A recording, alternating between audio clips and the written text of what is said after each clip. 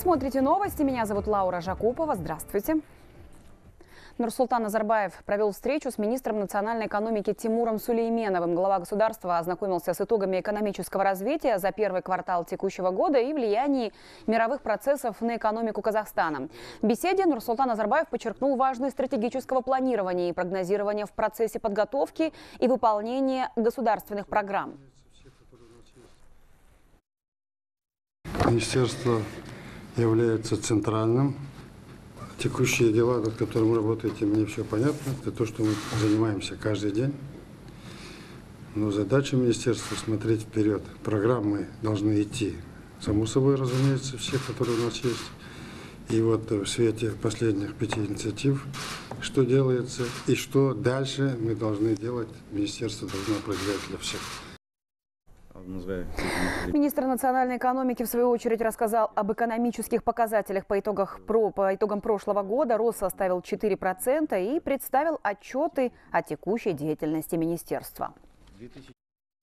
Доложил о э, санкциях, которые э, были наложены на Российскую Федерацию и их экономический эффект на нашу страну. Также кратко доложили о первом квартале. В первом квартале экономика выросла на 4,1%, то есть это выше, чем э, по итогам года. Э, сохраняется инфляция на низком уровне, порядка 7%. Глава государства дал ряд поручений активизировать работу, связанную с развитием экспорта, активизировать работу, связанную с исполнением государственных программ, обеспечение транзита – Глава государства подписал изменения в некоторые законодательные акты по вопросам занятости и миграции населения. Согласно документу, в Казахстане создадут единую онлайн-платформу экстренной биржи труда. Кроме того, внесены поправки в закон о миграции населения. Теперь мерами государственной поддержки будут охвачены не только семьи переселенцев, но и они сами отдельно, в том числе не состоящие в браке. А этническим казахам теперь предоставится право подать заявление о продлении статуса статуса Уралмана однократно на срок не более трех месяцев.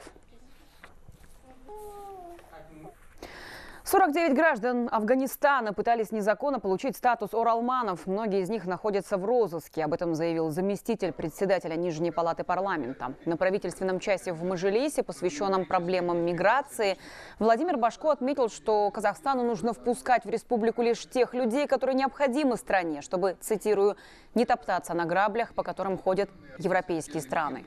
И лиц по организации делегатов Граждане Республики Бангладеш и Афганистана пытаются использовать территорию нашей страны для проникновения в Европу и оседания там на ПМЖ. Две транснациональные преступные группы через 85 зарегистрированных казахстанских компаний организовали канал массового нелегального въезда э, из КНР в Казахстан.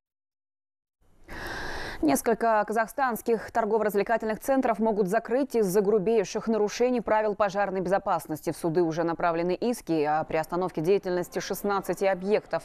Как сообщили в МВД, на сегодняшний день по всей стране проинспектировано 460 ТРЦ, на которых выявлено более 6 тысяч нарушений. Лидируют по этим показателям Алматы, Астана и Карагандинская область. Недобросовестных предпринимателей уже оштрафовали на 7,5 миллионов тенге. Но внеплановая ревизия объектов массового скопления людей продлится до конца месяца.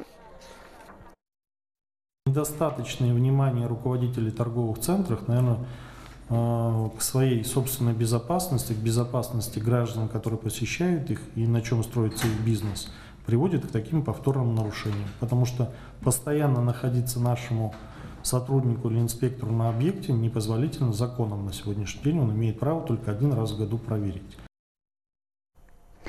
Лига арабских государств осудила предполагаемое применение химического оружия в сирийском городе Думе. В организации призвали к международному расследованию случившегося. Такое заявление сделал министр иностранных дел Саудовской Аравии Адель Аль-Джубейр во время заседания глав государств-членов Лиги в Дахране. Участники встречи также обсудили необходимость выработки общеарабской позиции по ударам США и их союзников по Сирии. Однако согласия в этом вопросе достичь не удалось. Ракетные удары осудили Ирак, Ливан и Алжир, в то время как Саудовская Аравия, Катар и другие члены Совета сотрудничества арабских государств Персидского залива одобрили действия коалиции США. На заседании также выступила глава дипломатии ЕС Федерика Могерини. По ее словам, у сирийского конфликта есть единственное решение – политическое.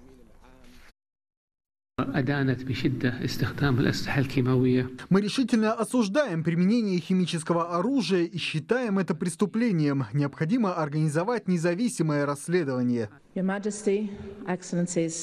Евросоюз и входящие в него страны поддержали все соответствующие и эффективные усилия, направленные на предотвращение использования химического оружия. В то же время мы прекрасно знаем, что единственным решением войны в Сирии является политическое. После семи лет в этом не должно быть никаких сомнений.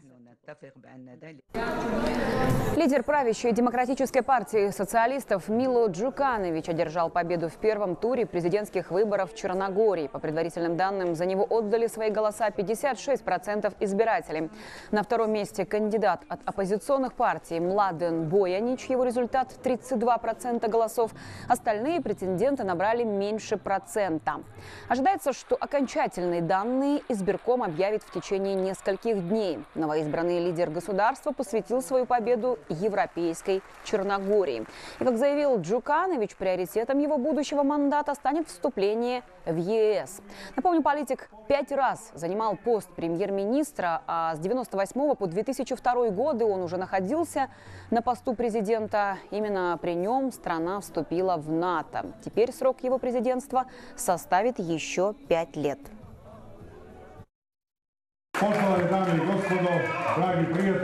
Мы выполнили обещание и получили еще одну победу в пользу Европейской Черногории. Это в очередной раз доказывает приверженность нашей страны двигаться по европейскому пути. В Эквадоре арестовали 40, 43 членов, 43 членов группировки, ответственные за похищение и убийство двух журналистов и их водителя. Об этом сообщили э, в местных СМИ со ссылкой на представителей правопорядка. Сейчас власти по-прежнему ищут лидера преступной организации. За его поимку объявлено вознаграждение 100 тысяч долларов. И это вдобавок к 148 тысячам, предложенным колумбийскими властями за любую информацию, которая поможет ликвидировать или арестовать преступника. Напомню, 27 марта двоих журналистов в эквадорской газеты «Коммерсио» и их водителя похитили во время работы над редакционным заданием неподалеку от границы с Колумбией. Позже власти Эквадора официально подтвердили их гибель. Ya son 43 miembros de Мы задержали 43 человека, которые выполняли разные функции внутри преступной организации. В их деятельность входила и контрабанда наркотиков. Во время спецоперации также нашлись запасы оружия. Телевидение в Узбекистане освободили от контроля спецслужб. Должность заместителя председателя национальной телерадиокомпании страны по вопросам безопасности упразднили. Об этом сообщили в канцелярии телерадиокомпании. Напомню, такая же реорганизация произошла и в духовном управлении мусульман этой страны. 19 января президент Шавкат Мирзиёев раскритиковал кураторов спецслужб, которые держат деятельность всех госорганизаций и учреждений в этой стране под тотальным контролем. Продолжаем. Пользователи сети призвали бойкотировать кофейню Starbucks. Причиной этому стал инцидент в одном из заведений сети в Филадельфии. Молодые люди, афроамериканцы, ждали друга и ничего не заказывали. Менеджер потребовал, чтобы они покинули кафе. Посетители отказались. В ответ на это сотрудники Starbucks вызвали полицию. Хэштег «Бойкот Starbucks» стал одним из самых популярных в американском сегменте Twitter, сообщает CNBC. И более того, люди устроили акцию протеста внутри и снаружи заведения, обвинив сеть кофеин в расизме. Представители компании извинились за случившееся и отметили, что пересмотрят правила поведения в кофейнях. Одна из причин, по которой я пришел сюда протестовать, это непризнание комиссарам полиции, что они сделали что-то неверное, задержав молодых людей. Есть тенденция, когда к кому-то проявляется неуважение по расовому принципу. Система наказывает того, кто не сделал ничего плохого, а сам нарушитель остается безнаказанным. И вот в таких случаях полиция должна действовать справедливо. У них должно быть хоть немного предвидения, чтобы осознавать, к чему может привести то или иное действие. Сергеевское водохранилище на севере Казахстана переполнено. Перелив под гребнем плотины составляет метр тридцать сантиметров. По словам спасателей, паводковая ситуация в регионе находится на контроле. Угрозы подтопления населенных пунктов нет. Сейчас сотрудники Департамента по чрезвычайным ситуациям занимаются профилактикой. Дополнительные силы из Козлардинской и Жамбылской областей не пригодились. Все спасатели, которые приезжали на подмогу северянам, отправлены домой.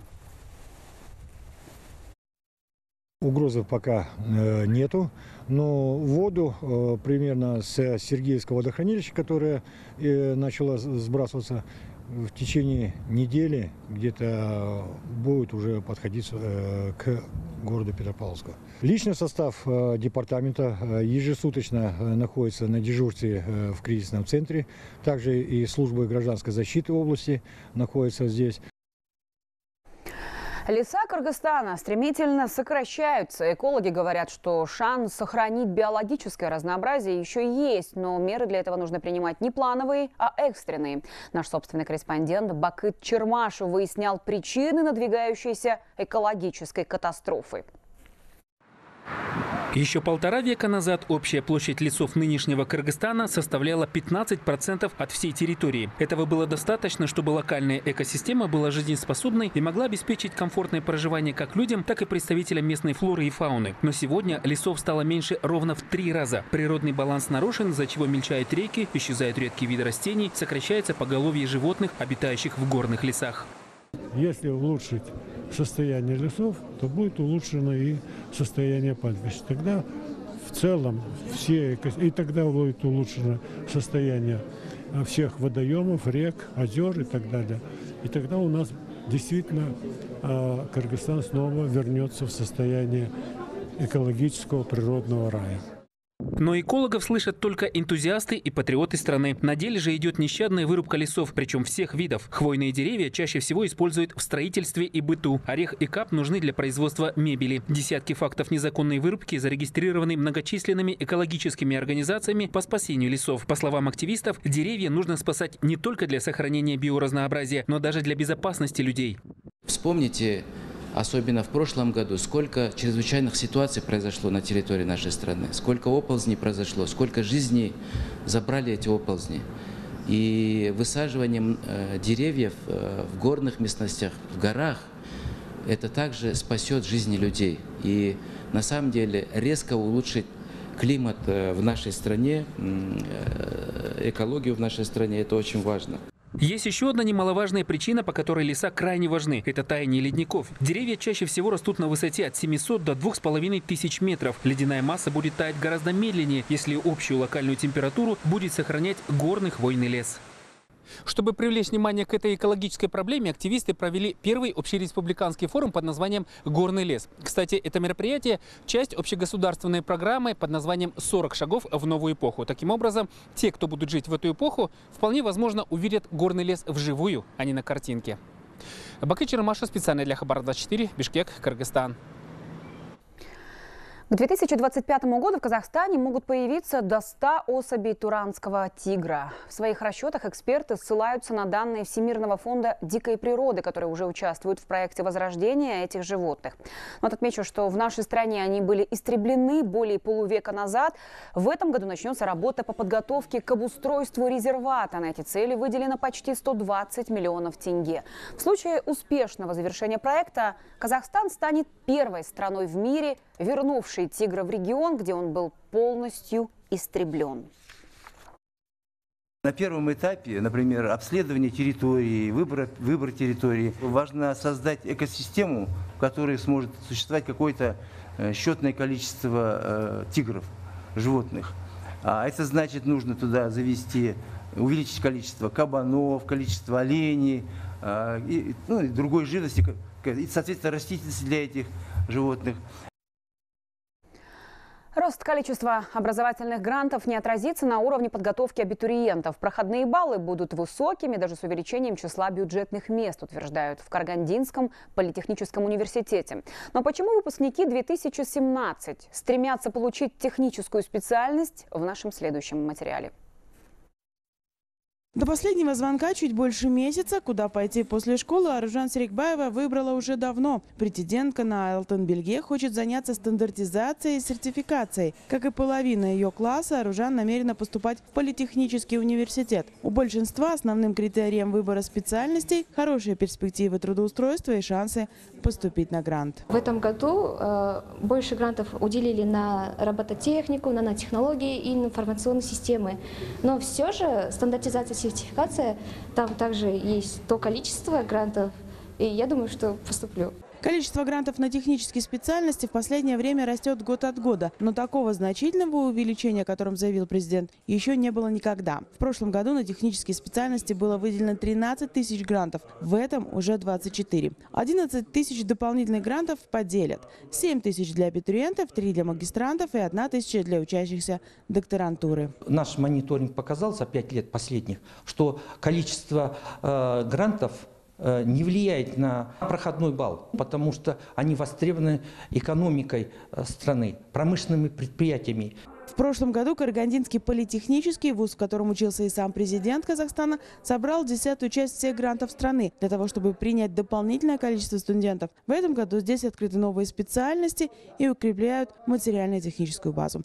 А 95% выпускников сразу находят работу. Илон Чаус, Василий Савкин, Асета Саинов, Караганда, Хабар 24. Казларде о казахских народных традициях молодому поколению напомнили активные женщины региона. Члены общественного фонда в рамках реализации программы «Рухани Жангару» провели тематический вечер «Олы дала РФ», на котором презентовали обряды, связанные с воспитанием детей и сохранением семейных ценностей. Гостям продемонстрировали обычаи, связанные с рождением ребенка, и уделили особое внимание нормам женского этикета, основанных на лучших национальных традициях.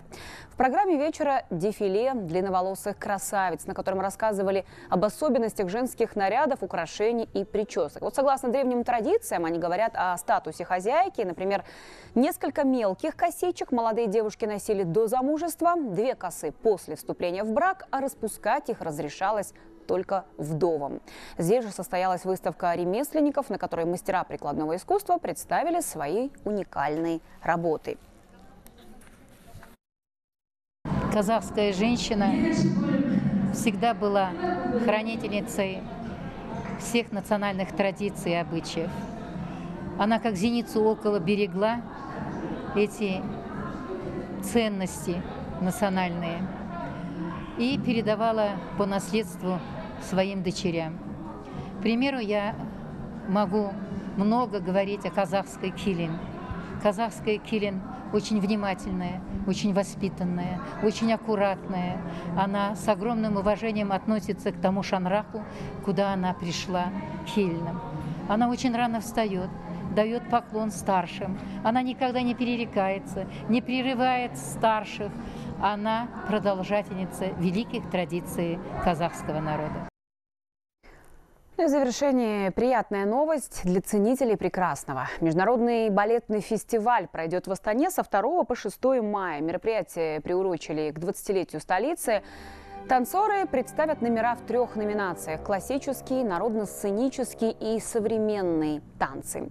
В Астану съедутся 28 участников из 14 хореографических школ мира. Известно, что на фестиваль приедут танцоры из России, Японии, США, Китая, Латвии, Эстонии, Грузии и Азербайджана. По словам организаторов, фестиваль станет площадкой для обмена опытом между танцорами. Всего праздник танца продлится три дня. На завершающем этапе будут представлены лучшие номера участников. И пока у нас на этом все. До встречи в 18.00. Увидимся.